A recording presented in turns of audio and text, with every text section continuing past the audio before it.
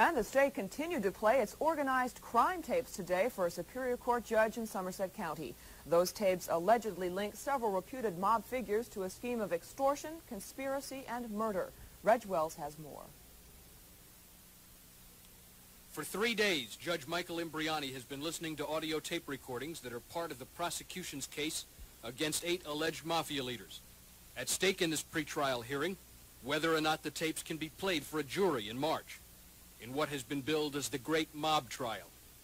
The case revolves around Ruggiero Ritchie the Boot Boiardo, who from this rarely photographed mansion in Livingston is said to have presided over an organized crime kingdom, allegedly dealing in murder, extortion, conspiracy, and gambling. Prosecutors say Boiardo and the seven co-defendants were part of the New Jersey arm of the Vito Genovese crime family. An arm of the organization Boiardo is said to have run and prosecutors say they have proof on tape.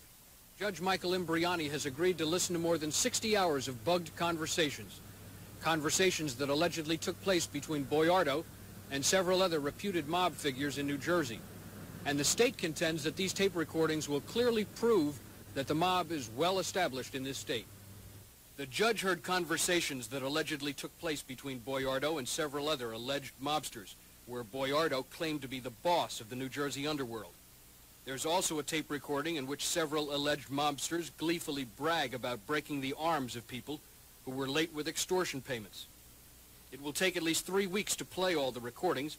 The actual trial begins in March, and sometime before the trial begins, defense attorneys are expected to challenge the admissibility of the tapes, claiming they're irrelevant and prejudicial. If they are allowed at the trial and the eight defendants are convicted, they could spend the rest of their lives in jail. At the Somerset County Courthouse in Somerville, I'm Reg Wells.